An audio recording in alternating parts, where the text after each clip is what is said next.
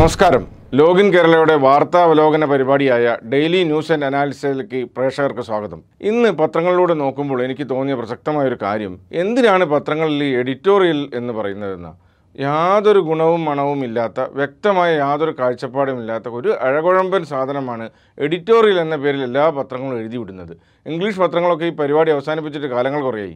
അവർ പ്രത്യേകിച്ച് അവരുടെ പത്രത്തിന്റെ നിലപാട് പുറത്തു പറയാവുന്ന സമയമുള്ളപ്പോൾ മാത്രമാണ് എഡിറ്റോറിയൽ എഴുതിയിരുന്നത്. പണ്ടൊക്കെ നമുക്കറിയാം മാമൻ മാപ്പിള പേര് വെച്ച് എഡിറ്റോറിയൽ എഴുതുന്നു അല്ലെങ്കിൽ മാതൃഭൂമിയിൽ കെ പി കേശവമേനോൻ പേര് വെച്ച് എഡിറ്റോറിയൽ എഴുതുന്നതൊക്കെ പറയുന്നത് വലിയൊരു സംഭവമായിരുന്നു. പക്ഷേ ഇന്ന് പത്രങ്ങളിൽ വരുന്ന എഡിറ്റോറിയൽ എന്ന് പറയുന്നത് യാതൊരു നിലവാരവുമില്ലാത്ത അങ്ങനെയും പറയാം എന്നാൽ ഇങ്ങനെയും പറയാം എന്ന് പറഞ്ഞ് ഒരു കാഴ്ചപ്പാടുമില്ലാത്ത സാധനങ്ങളാണ്. ഇത് നിർത്തേണ്ട കാലം അതിക്രമിച്ചിരിക്കുന്നു. മാത്രമല്ല ഇത് സോഷ്യൽ മീഡിയയുടെ കാലമാണ്. ഓരോ ചെറുപ്പക്കാരും അവർക്ക് ഒരു വിഷയത്തിലുള്ള അഭിപ്രായം വ്യക്തമായി പറയുമ്പോഴാണ് എവിടെയും തൊടാതെ അതും ശരിയാണ് ഇതും ശരിയാണ് എന്ന രീതിയിൽ മലയാള പത്രങ്ങൾ എഡിറ്റോറിയൽ എഴുതിക്കൊണ്ടിരിക്കുന്നത്. ഇത് അവരുടെ നിലനിൽപ്പിനെ തന്നെ ബാധിക്കുമെന്ന് ഓർമ്മിപ്പിക്കുകയാണ്. അതുപോലെ തന്നെ മറ്റൊരു കാര്യം നല്ല ചിത്രങ്ങൾ പത്രങ്ങളിൽ വന്നിട്ട് കാലങ്ങൾ കുറേയായി. നല്ല പടങ്ങൾ കാണാനേ ഇല്ല. മനോരമയിൽ പോലും കേരളത്തിലെ ഫോട്ടോഗ്രാഫർമാർ എടുക്കുന്ന മനോഹരമായ ചിത്രങ്ങൾ അടിച്ചു വന്നിട്ട് കാലം കുറേയായി എന്നാണ് തോന്നുന്നത്. അതുപോലെ കാർട്ടൂണുകൾ. ഇന്ന് എം സി ജോസഫിനെ സി പി എം നേതാ കമ്മീഷൻ അധ്യക്ഷ സ്ഥാനത്ത് നിന്ന് ഒഴിവാക്കിയ ദിവസമായിരുന്നു നല്ല കാർട്ടൂണിന് സ്കോപ്പുള്ളൊരു ദിവസമായിരുന്നു. പക്ഷേ ഒരൊറ്റ പത്രത്തിലും നല്ല കാർട്ടൂൺ അച്ചടിച്ചു വന്നിട്ടില്ല എന്ന സങ്കടകരമായ കാര്യം പറഞ്ഞുകൊണ്ട് ഓരോ പത്രത്തിലേക്കും പ്രത്യേകം പ്രത്യേകമായി കടക്കട്ടെ. ആദ്യം മലയാള മനോരമയിലേക്ക് വന്നാൽ മനോരമ ജോസഫിന്റെ രാജി തന്നെയാണ് കൊടുത്തിരിക്കുന്നത്.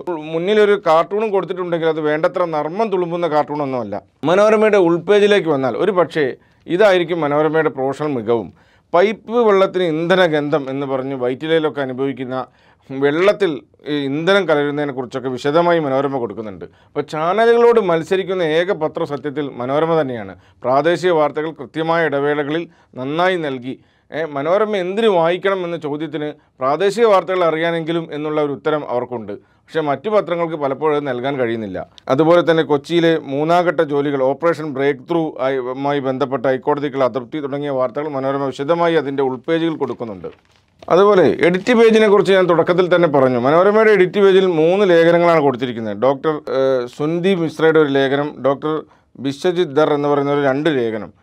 അത് രണ്ട് കോവിഡിനെ കുറിച്ചുള്ളതാണ്. അതും നമ്മൾ പലതവണ കേട്ട പ്രത്യേകിച്ച് ഒരു പുതിയ യാതൊരു ഇൻഫർമേഷനും കിട്ടാത്ത രണ്ട് ലേഖനങ്ങളാണ്. ചട്ടപ്പടി ലേഖനങ്ങൾ എന്ന് പറയുന്നത്. അതുപോലെ തന്നെ ആപ്പിൾ ഡെയിലി ഓർമ്മിപ്പിക്കുന്നത് എന്ന് പറഞ്ഞാണ് അവരെ മുഖപ്രസംഗം. ഹോങ്കോങ്ങിൽ മാധ്യമ സ്വാതന്ത്ര്യം ഹനിക്കപ്പെടുന്നുള്ളത്. ഇത് ചൈനയെ ആഞ്ഞടിക്കുന്നുമില്ല. എന്നാൽ ഹോങ്കോങ്ങിന്റെ ഭാഗത്ത് ശരിയുണ്ടെന്ന് വ്യക്തമായി പറയുന്നുമില്ല. എവിടെയും തൊടാത്ത ഒരു എഡിറ്റോറിയലാണ് ഇത് വെച്ചിരിക്കുന്നത്. എന്നാൽ താഴെ വൈറലെല്ലാം റിയൽ അല്ല എന്ന് പറയുന്ന അവരുടെ പരമ്പര അത് വളരെ നന്നാവുന്നുണ്ട്. വസ്തുതയുമായി ബന്ധപ്പെട്ടില്ലാത്ത ചില കൊതുകുകൾ എന്ന് പറഞ്ഞുകൊണ്ട് മനോരമ കൊടുത്തിരിക്കുന്ന ഈ വാർത്ത ശ്രദ്ധേയമാണ്. ഉൾപേജിലേക്ക് വരുമ്പോൾ വിസ്മയുടെ മരണം ആത്മഹത്യയോ സ്ഥിരീകരിക്കാനാവാതെ പോലീസ് എന്ന് പറയുന്ന ഒരു റിപ്പോർട്ട് മനോരമ കൊടുത്തിട്ടുണ്ട്. ക്രൈം ബീറ്റുകളിൽ മനോരമയുടെ ഒരു സൂക്ഷ്മത വളരെ എടുത്തു പറയേണ്ടത് തന്നെയാണ്. അകത്തേക്ക് പോകുമ്പോൾ പതിവ് പോലെ സ്പോർട്സ് പേജിലും ബിസിനസ് പേജിലും ഒക്കെ മനോരമ അവരുടെ മികവ് പുലർത്തിയിട്ടുണ്ട്.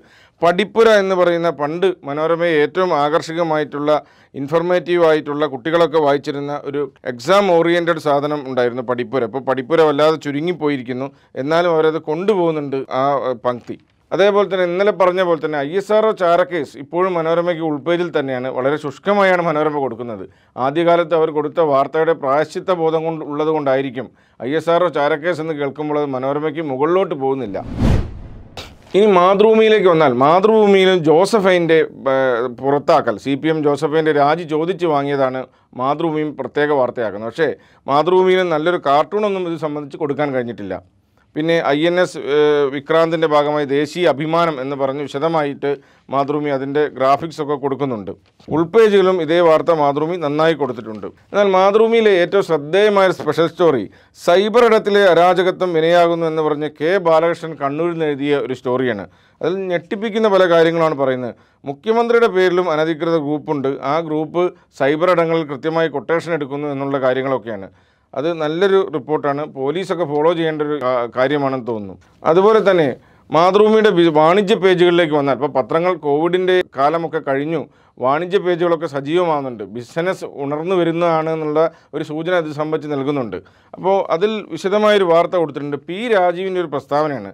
ഉത്തരവാദിത്തപ്പെട്ട നിക്ഷേപ കാഴ്ചപ്പാടിലേക്ക് കേരളത്തെ കൊണ്ടുവരും. ബിസിനസ് റാങ്കിങ്ങിൽ പത്താം സ്ഥാനത്തെത്തിക്കും കേരളത്തെ എന്നുള്ളത്. ഇത് പ്രേക്ഷകർ ഇന്ന് ഓർത്തു വെക്കുന്നത് നല്ലതാണ്. ഈ പ്രസ്താവന ശരിയാവുമോ തെറ്റാവുമോ എന്നുള്ളത്. കാരണം യു പി എക്കാളും പുറകോട്ടാണ് ഇപ്പോൾ കേരളം പോകുന്നത്. നിക്ഷേപ സൗഹൃദ സംസ്ഥാനം എന്ന് പറയുന്നത്. പക്ഷേ ബിസിനസ് റാങ്കിങ്ങിൽ പത്താം സ്ഥാനത്ത് എത്തിക്കും പി രാജീവ് എന്നാണ് പറയുന്നത്. നമുക്ക് കാത്തിരിക്കാം. അതുപോലെ മാതൃഭൂമിയുടെ എഡിറ്റോറിയലും ഇതുപോലെ ചട്ടപ്പടി എഡിറ്റോറിയലാണ്. ദാൽ തടാകത്തിൽ വിടരട്ടെ ജനാധിപത്യത്തിന്റെ പൂക്കൾ എന്ന് പറഞ്ഞിട്ട് എവിടെയും തൊടാത്ത രീതിയിൽ ശക്തമായ വിമർശനവുമില്ല. എന്നാൽ അതിനോട് അനുകൂലിക്കുന്നുമില്ല. എങ്ങനെയും പറയാവുന്ന രീതിയിലുള്ള ഒരു എഡിറ്റോറിയലാണ് മാതൃഭൂമി എഴുതി അതിന്റെ താഴെ ഗോപികൃഷ്ണന്റെ ഒരു കാർട്ടൂൺ ഉണ്ട് ശനിരേഖ എന്ന് പറഞ്ഞ്. സാധാരണ പണ്ടൊക്കെ ആളുകൾ കാത്തിരുന്നൊരു കാർട്ടൂണായിരുന്നു ഗോപികൃഷ്ണന്റെ ഇപ്പം ഗോപികൃഷ്ണനും പഴയ പോലെയുള്ള ഒരു നർമ്മം പൂർണമായി വരുന്നില്ല.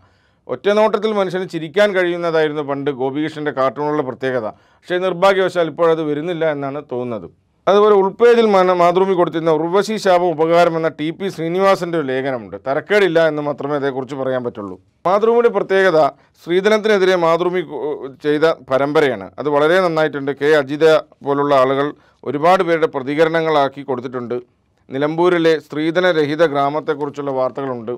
അതുപോലെ തന്നെ സ്പോർട്സ് പേജും ബിസിനസ് പേജും ഒക്കെ വളരെ നന്നായി. കൊച്ചിയുടെ വൗ കൊച്ചി എന്നൊക്കെ പറഞ്ഞ് വിശദമായി ഈ വൃത്തിയിൽ ലേഔട്ട് ചെയ്തും മാതൃഭൂമി കൊടുക്കുന്നുണ്ട്.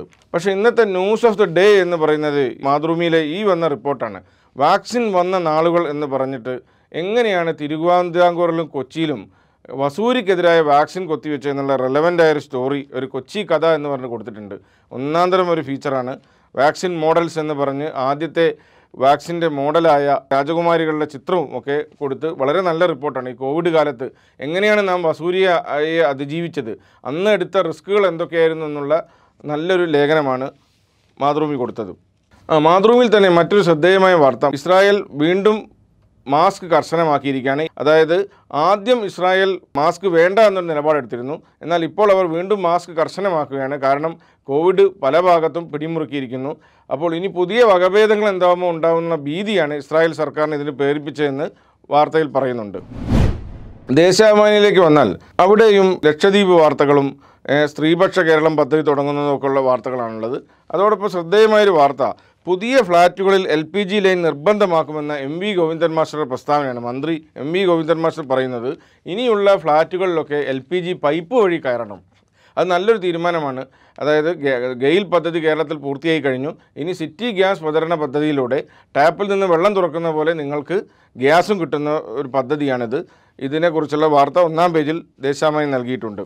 പക്ഷേ ദേശാമാനിയുടെ ഒരു പ്രധാന പരാജയം അവരുടെ ലോക്കൽ പേജുകളിൽ കാര്യമായ വാർത്തകളില്ല എന്നുള്ളതും മറ്റൊന്ന് അവർ എഡിറ്റ് പേജിലൊക്കെ വരുന്നത് നേരത്തെ പറഞ്ഞ പോലെ എവിടെയും തൊടാതെയുള്ള കുറേ ലേഖനങ്ങൾ മാത്രമാണ്. ഒന്ന് ലഹരിക്കെതിരെ കൈകോർക്കാം എന്ന് പറഞ്ഞ് എക്സൈസ് മന്ത്രി എം വി ഗോവിന്ദൻ മാഷയുടെ ലേഖനമുണ്ട്. അത് ഒക്കെ പതിവ് പോലത്തെ പി ആർ ഡി റിലീസ് എന്ന് പറയുന്ന സാധനമാണ്. അതുപോലെ തന്നെ അഡ്വക്കേറ്റ് പി സതീദേവിയുടെ ലേഖനമുണ്ട്. അതും മറ്റൊരു പി ആർ ഡി റിലീസാണ് നന്നായിട്ടുള്ള ഒരേ ഒരു ലേഖനം അടിയന്തരാവസ്ഥ അന്നും ഇന്നും എന്ന് പറഞ്ഞ് കെ രാജേന്ദ്രന്റെ ലേഖനമുണ്ട്. അതൊരു കൊള്ളാവുന്ന ലേഖനമാണ്. അതേപോലെ ദേശാഭിമാനിയുടെ എഡിറ്റോറിയലൊക്കെ കട്ട കോമഡിയാണ്. കരുത്താർജിക്കുന്ന കർഷക പ്രക്ഷോഭം എന്ന് പറഞ്ഞിട്ടാണ് എഡിറ്റോറിയൽ കൊടുത്തിരിക്കുന്നത്. കർഷക പ്രക്ഷോഭത്തിന്റെ അഡ്രസ്സ് ഇല്ല. കർഷകരെ ആരും തിരിഞ്ഞു നോക്കാനുള്ള അവസ്ഥയാണ് വരുന്നത്. അപ്പോഴാണ് ദേശാഭിമാനി ഈ രീതിയിൽ തള്ളിവിടുന്നത്. സ്വന്തം അണികളുടെ ആവേശം വർദ്ധിപ്പിക്കാനാണെങ്കിലും പ്രൊഫഷണൽ നിലവാരമില്ലാതെ വാർത്തകൾ തള്ളിവിടുന്നത് മാധ്യമപ്രവർത്തകർക്ക് യോജിച്ചതല്ല. പ്രതിപക്ഷ ധർമ്മം യഥാർത്ഥത്തിൽ നിർവഹിക്കുന്ന രണ്ട് പത്രങ്ങളാണ് വീക്ഷണവും ജന്മഭൂമിയും. എല്ലാ ദിവസവും എന്തെങ്കിലും സ്ഫോടനാത്മകമായ വാർത്തകളാണ് എട്ടും പത്തും പേജും മാത്രമല്ല ഈ പത്രങ്ങൾ കൊടുക്കാറുള്ളത്. ഇന്നും വീക്ഷണത്തിലൊരു നല്ല ഗംഭീരമായൊരു വാർത്തയുണ്ട്. അഷ്റഫ് മരിച്ചത് കുത്തേറ്റല്ല രോഗം മൂലം എന്നുള്ള എൻ പി രാജേന്ദ്രന്റെ ഒരു പ്രസ്താവനയാണ്. അദ്ദേഹത്തിന്റെ ഫേസ്ബുക്ക് പോസ്റ്റ് വിശദമായി എടുത്തു കൊടുത്തിരിക്കുകയാണ്.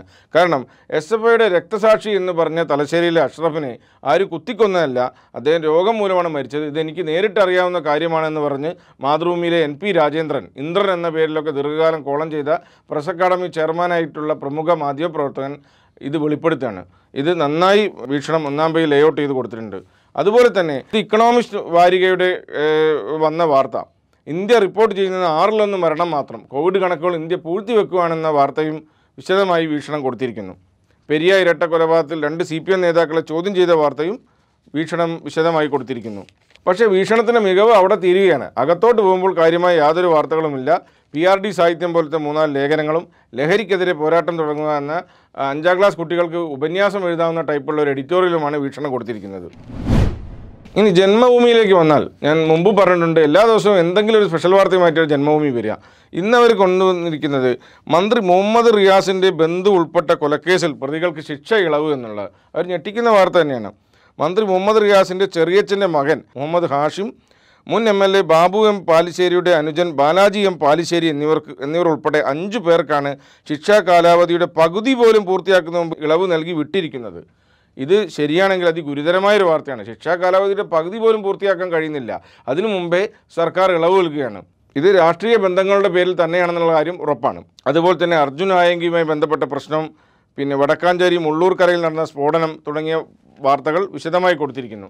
എന്നാൽ ജന്മഭൂമിയുടെ രാഷ്ട്രീയം കൃത്യമായി പ്രകടമാകുന്ന ഒരു വാർത്തയാണ് അവരുടെ ലീഡ് വാർത്ത. ഓക്സിജൻ ക്ഷാമം കൃത്രിമം പിന്നിൽ കെജ്രിവാൾ.